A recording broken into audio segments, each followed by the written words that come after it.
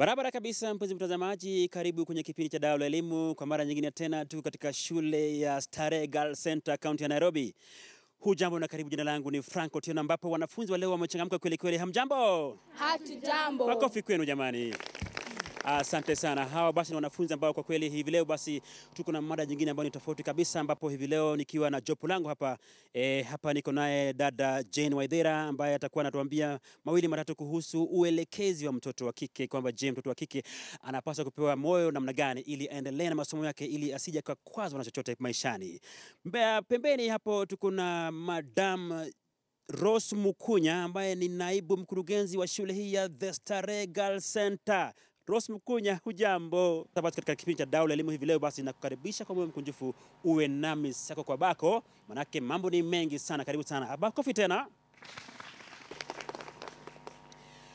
Haya, sasa uh, ningependa basi kabla tujaendelea sana kumuuliza madam e, Juliet Mbogori kwamba maswala yanayohusiana na kitengo chako hasa katika shule hii ya wasichana ya Starehe Girls unahusika na masuala yepi hasa? Uh, jukumu langu kubwa kabisa ni kuwasaidia wa, wasichana wanapowasili shuleni Ndiyo. kukabiliana na changamoto ambazo wanakumbana nazo siku uh, baada ya siku. Aha. Uh, nitakupatia mfano mmoja. Wengine kuna wale ambao wamebakwa kuna, wakiwa nyumbani so waki, wakija shule unapata mawazo yale yanawadunisha no. na hawawezi ku, kusoma, hawawezi kuelewa vizuri tunapofunza darasani. So ni jukumu langu na wenzangu kukuja kuwasaidia kukabiliana na hayo mambo. mm -hmm. Mm. Mtazamaji, kumbuka kwamba ni kipindi ambacho huwa kinakujia hewani kila Jumamosi katika kipindi katika runinga, runinga ya KTN News ambapo huwa tunakupa anwani yetu ya barua pepe kwamba ukipenda basi tuje katika taasisi yako, basi usisite kutuandikia kupitia kwa anwani ya fotieno at standardmedia.co.ke. Nitarudia, F Otieno at standardmedia.co.ke ni anwani ambayo iko hapo chini ya runinga yako, basi usisite kuniandikia ili tuje tujadili mawili matatu kuhusiana na masuala ya elimu kwa ujumla. Pale mwishoni tuko naye dada Jane Waithera ambaye uh, anatoa hamasa kwa wanafunzi ama kwa Wakenya wote ambao wanahisi kwamba kuishi na hali ya ualbino huenda ikawa ni kwamba ni kikwazo kwa watu ambao wanadhani kwamba ukiwa katika hali kama hiyo huwezi ukasoma, huwezi kuendelea na masomo. Jane, hebu tuelezee kwamba katika mikakati hii umekuwa ukifanya nini? So jukumu langu kama Jane Jane. Uh, jukumu langu kama Jane Ndiyo. ni kuwahamasisha wasichana watoto wa kike ambao wametoka kwenye mazingira magumu au mazingira yenye changamoto nyingi, kuwepo kwa wale wasichana kielimu na pia kimaisha, kuwaelekeza ili wajue kuna watu wamepitia maisha ambao wenyewe wanayapitia, lakini hao watu bado wameendelea kimaisha. Kwa hivyo mimi kama mwelekezaji kwa watoto wa kike ni kuwapa kama kioo, wanaangalia mtu mwingine kama wao amepitia maisha magumu, lakini mwisho wa siku ame, ame, amepata vi, Muona pale msichana ambaye mnafanana kisura, huenda ikawa watu wanadhani kwamba mnatoka naye sehemu moja, lakini ningependa apewe kinasa sauti atueleze kwamba yeye jina lake nani. Hello, jina lako nani? Jina langu ni Cheryl, natoka eneo la Bungoma. Cheryl nani? Achieng. Cheryl Achieng. Naam. Cheryl Achieng, huyu ni Jane Waithera. Kwa hiyo Waithera na Achieng hawana uhusiano wote damu, lakini ukiangalia ni mtu na dadake. Uh, nashukuru, keti chini. Nashukuru sana kwamba Jane, uh, tulipozungumza na wewe kabla ya kipindi kuanza, ulisema kwamba huyu you are the mentor of this girl. Nitakuja kwako baadaye utueleze kwamba how do you mentor her. Uh, dada naibu mkurugenzi, kwanza niuelezee kwamba katika shule hii masuala ya nidhamu mnayamudu vipi? Manake nime- nimegundua kwamba nilipoingia hapa hawa wanafunzi wana nidhamu ya hali ya juu mno. Asante Frank. Uh, kwa kifupi, nidhamu katika shule ya Starehe Mm. ni hali ya juu sana. Wanapoingia hapa, kuna ile tunaita the Starehe way, The Starehe way. the Starehe way. Eh? And the Starehe way, Sasa nijisikie niko starehe. yes, the Starehe way Hey. which inducts the students. Wanapoingia wanaelekezwa ile tuna sana sana, sio kufunza tu hapa, kuna elekezaji kama uh, binti Bogori amesema, Ndio, tunaanza naye.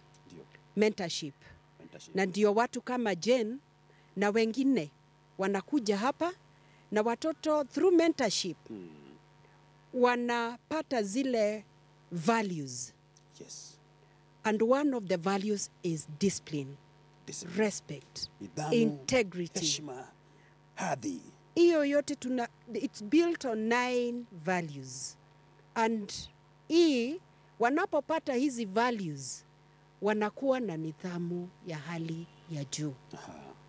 and yuko katika shule huko nje Otochora Kuom pale sehemu za Busia pale, yule ambaye yuko kule Murang'a, yule ambaye yuko kule maeneo ya Lokchogio, aliye kule maeneo ya Samburu. Wewe ni msichana ambaye unahitaji yale ambayo tunazungumza hapa hii leo, ndiposa basi e, wewe mzazi, wewe mlezi, basi kipindi hiki kinakuhusu wewe hasa na binti yako. Kwa hivyo basi ningependa nimuulize yule binti ambaye yuko pale katikati, naomba mpe kinasa sauti e, mpe ha, ushashika basi, ndio wewe sasa. Hebu nieleze kwamba tangu uingie katika hii shule, kwanza tueleze tuelezee jina lako ni nani, na ulipoingia hapa ukapata kwamba nidhamu inasisitizwa katika kiwango kipi? Jina langu ni Salin Katha. Salin Katha. Naam. ndio Naam, nilipokuja shuleni mara ya kwanza niliweza kupata kuwa kuna viongozi ambao waliweza kunielekeza vyema na vile vile nilipata kuwa shule ina nidhamu ya hali ya juu. Kwa hivyo sina sikuwa na buli, budi ila tu kufuata uh, mtindo wa shule hii ambayo ni nidhamu ya juu ambayo pia inachangia Sali, uko kidato cha ngapi? kidato cha tatu. Ah, cha tatu. Naam. Ah, sasa ulipoingia, bila shaka unatoka maeneo ya Meru ama wapi? Na, Ama Embu, Natoka maeneo ya Nairobi. Nairobi? Naam. challenge to me. kwa, kwa hivyo okay, wewe ukiangalia mazingira ya kule nje na hapa ndani, kuna tofauti ambayo umeiona kuhusu namna ya nidhamu inavyopaswa kuwa? Naam. mm -hmm. Uh, pale ambapo mimi na, ninatoka nidhamu uh, ninaiweka katika asilimia uh, thelathini Ndio. lakini nikifika hapa ni juu zaidi uh, kwa sababu ya uelekezaji ambao tunapata kutoka kwa walimu wetu na vile vile pia wa, wa, waelekezaji ambao pia uh, shule inatuhusisha nao. Asante sana Nkata. Nkata huyo ameongea vizuri kabisa. Kwa hivyo eh, ningependa basi eh, nije kwako hapa Madam Juliet. Sasa wanafunzi wanapokuja labda na mambo ambayo ni mazito mazito, huenda ikawa labda hatutayajadili sana kwa undani, lakini eh, mambo kama mi uh, ameambiwa mambo mengi hawezi uh, taaluma hii si ya wanawake. So wengi wakija hapo unapata kwamba ni wanyonge lakini tunapozidi kuwa, kuon- kuonena nao na kuwatia nguvu unapata kwamba wana, wanainuka na wanafanya taaluma hizi kubwa kubwa ambazo zinaonekana kana kwamba ni za wanaume. Mm. Taaluma kama zipi hizo? kama hizi kama for example tunasema engineering uh, udaktari. Uh, unapata kwamba tuna, tume, tumepata madaktari wengi wakitoka katika, katika hii shule Mm. mm. Ningependa kuwauliza nyinyi wanafunzi, hebu mmoja wenu akisikia ile swali vizuri an- aninue mikono juu. Hebu nikuulize kwamba je, ni somo lipi ambalo ulikuwa unahisi kwamba ni ni somo la wanaume lakini kwa sasa unalimudu vizuri? Naam. Hakuna mtu hapo. Kwa hivyo wote mnaogopa. Aha, ndio hapa. Ndio ndio. Asante sana. Naam, Jina ni Barbara Marshalls kutoka Barbara? Mombasa. Barbara Marshalls. Marshalls, naam. Uh, nilipokuja Starehe, somo ambalo nilidhani kuwa wasichana hawawezi kulifanya ambalo ni la wanaume ni fizia, Fizikia. ambapo inahusiana na mambo mengi kuhusu uh, stima. Yes. Naam. lakini baadaye ukagundua kwamba wewe unaweza kuwa mhandisi na kampuni ya Kenya Power ikakuajiri vizuri ukijimudu katika somo la fizikia. Ndio. Kwa hivyo kwa sasa hapa wasichana wote mu- duni kwamba nyinyi eti kuna masomo mengine ya wavulana mengine ni ya wasichana, sivyo? Ni kweli? Ndio. Asanteni sana. Aketi chini. Ah, kwa hivyo dada Jean, wewe ulipokuja hapa labda kuzungumza na wanafunzi, tueleze ulikuja siku gani na ukawaongea kuhusu nini? Je, ni masuala yapi ibuka ambayo yaliibuka katika eh, mazungumzo yenu na wao? Kwenye mazungumzo yetu na hao wanafunzi kwanza, kama tulivyo kama tunavyojua, shule ya Starehe inawachukua wanafunzi ambao wametoka kwenye jamii ambazo zina uhitaji sana. Ndiyo. So sana sana unaona wale wanafunzi wana ile hali ya kujiona kama nimetoka familia ambayo haijiwezi kiuchumi, labda kifedha, kwa, kwa hali na mali. Uh, tuseme wasichana wanakuanga na more peer pressure, Aha. lakini through uelekezaji Ndio. wamekuja kugudua wanaweza fanya vizuri pia kama wavulana hmm. na ndio sababu unaona tukiriganisha hata shule ya, ya upili ya Starehe boys pia tunang'ang'ana, wasichana wa Starehe girls hey. hawajaashwa nyuma hawajaachwa nyuma. hey, Ah. hawajaashwa nyuma na tuko tu uh, performance yetu yeah. iko pia juu. Ningependa kumuuliza uh, Juliet. Juliet, hebu tuelezee kwamba unapoongea kuhusu pia pressure, na anamaanisha nini? Maanake wewe ni mwanasaikolojia. Nichanganye. Oh, yes, yes. Thank you. Wanafunzi wanajaribu kujilinganisha na wenzao. Mm. Napata maybe huu for example ametoka kwa fa familia ambayo iliyobobea, wanajiweza kifedha. Sasa mm. anaona kama kwamba yeye hawezi. Hmm? Sasa hiyo unapata kwamba huyu mwenzake akija na uh, maybe na kitu shule, hata pia anataka ku- kuja na kitu hicho Mm. maybe mhula ambao unafuata. umenikumbusha nilipokuwa nilipokuwa najiunga na kidato cha kwanza.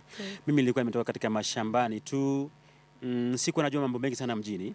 Sasa wakawa wamekuja wanafunzi ambao walikuwa wana, wana mambo mengi tu. Kwa mfano mchezo wa basketball sio mchezo ambao utaujua uta, uta kule mashambani kule.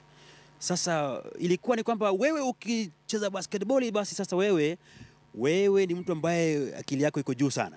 Kwa hivyo sisi ambao tunatoka mashambani tulikuwa tunajiona duni sana. Kwa hivyo ili utake to fit into the system unajifanya kwamba sasa unajaribu basketball alafu unaenda unateguka kule unaumia mguu sijui nini. Sasa kwa hivyo ningependa niwaulize hawa wasichana. Je, nyinyi have you ever come across any kind of peer pressure that really tampers with your attention in class or in school as a whole? Naomba kama kuna mtu hapa atujibu tafadhali. Kwa majina naitwa Anna Njeri Ana Njeri ndio. na kwa kawaida nikuwa kidato cha kwanza nilifika hapa nikapata wanafunzi wa kidato cha nne ndo walikuwa wanaambia wao ndio wana, ndio kusema Form 4s ndio watu. na Nyinyi sasa ni you are here to be seen not to be heard. kwa wakati huo, lakini saa hii kumebadilika. Wakati huo mtu anakuambia kiranja anapoku, anapokuadhibu ama akupa, akupatia adhabu Ndio. anakuambia usifanye. Kwa wakati ambao nimeishi hapa kidato cha kwanza ilikuwa hivyo, lakini jinsi miaka inavyoendelea kusonga ma- Kizo. Naomba ukabidhi hiyo mikrofoni kwa mwingine atueleze kwamba kule nje utakapoenda utapata pia pressure za aina gani ambazo utataka kujinasua kutoka kwazo hizo pia pressure hizo. Naam. Aha. Kwa majina anaitwa Faith Juma Faith Juma. na, na ningependa kusema kuwa tukisema okay, peer pressure ambayo tunaweza pia tukaita shinikizo rika Ah, makofi kwake. Okay, Shinikizo tunapa- rika. No. tuna, tunapata kuwa inaweza kuwa kwa njia ambayo ni chanya au inaweza kuwa hasi Ndio. na si lazima shinikizo rika itakuwa- negative. Oh, lulu, leo tumewezwa hapa. Twende kazi. shinikizo rika inaweza inaweza kuwa chanya ambapo uta, itaku, like, itakusaidia kufanya kitu ambacho kitakufaidi tuseme ku, kushiriki katika mijadala na wanafunzi wengine ukiweze kujua ambacho So you are talking about positive peer influence, peer pressure. Naam. Ehe. na pia unaweza kuungana na vijana sana sana vijana wata watakuwa nayo shinikizo rika ambayo tuseme watataka kufanya kitu ambacho wenzao, wenzao wanafanya Dio. na huenda ika, ikawa mbaya kwa mfano kutumia mihadarati kukwa, kukosa nidhamu kwa wazazi na Manake kule kule kule kule, kule mtaani labda ukiangalia huenda ikawa wewe nakuuliza wewe bado sijui kama kuna wale ambao unahisi kwamba ukienda kwao ukitembea tembea nao sana uta, utakuwa umepiga hatua kama kumi nyuma. na hasa mi, mahali natoka Dio. nyumbani kwetu, naweza sema kila niendapo nyumbani naweza nikaambiwa kuwa kuna mtu ambaye amesema msichana mwenzangu ambaye amepata amekuwa mjamzito Ndio. ambaye ameacha shule kwa njia moja au nyingine, na naweza sema kuwa kuungana na watu kama hao huenda uka ukakiuka ukaacha mwenendo yako Wanasema ameshika ball. Naam. Hii ni ball gani wanashika hii? Okay, sawa. Asante sana. Kwa hivyo umesema kwamba kuna wale ambao wana mitindo yao maishani huenda ikawa inamwelekeza katika mapenzi ya mapema, anaanza mahusiano ya mapema ambapo anajikuta katika amejikwaa katika safari ya maisha. Ndio mwalimu, mwanafunzi ameongea hapo. Je, hiyo ina ina affect namna gani wanafunzi hapa, kwamba akienda kule nje anakuta kuna pia fresh ambayo ina, ina affect? Mm, unapata siku hizi kuna hata watu wanajiita sponsor ha? Ndio. Sasa unapata mwanafunzi kwa sababu amejiweka katika class ambayo si yake, maybe anataka kutumia marashi ya bei, hawezi nunua. Ndio. Sasa unapata kwamba ana- anajishindia mm, mzee fulani, kijana fulani, Jibaba. jibaba eh, ili aweze ku, uh, kukabiliana na mahitaji yake, na wakati ambapo unaendelea na uhusiano huu Mm. unapata anaweza kataguka Ndio. Hmm? Ni kweli. Akipata mimba ha- hatuwezi kumruhusu akae hapa, tutamkubali aende nyumbani ajifungue arudi baadaye, na atakuwa amepoteza wakati mrefu sana wa masomo. Hmm. Sasa hapo unapata kwamba anakatiza masomo yake, taaluma ambayo angependa ku, ku, ku, kuifanya hapo uh, maishani inakatika. Na sasa naibu mkuu wa shule, hebu tuambie kwamba cases kama hizo sasa mna mnahisi kwamba zina affect namna gani ama zina zinawaathiri namna gani kimasomo na mnayazuia vipi? Asante Frank. Mm. Uh, Sasa mtoto kama huyu tuseme kwa mfano amepata mimba.